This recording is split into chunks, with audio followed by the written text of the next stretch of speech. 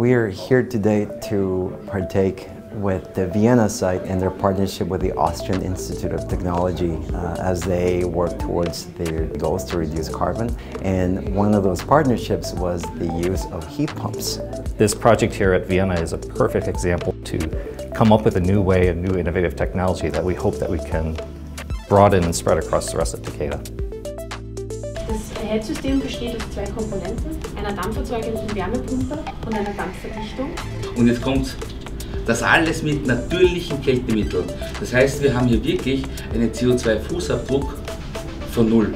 We have smart people, we have creative people, we have plenty of collaborations that we can be exploring through different government organizations and private industry so that we together can come up with the, the answers to the problem that faces us around climate change.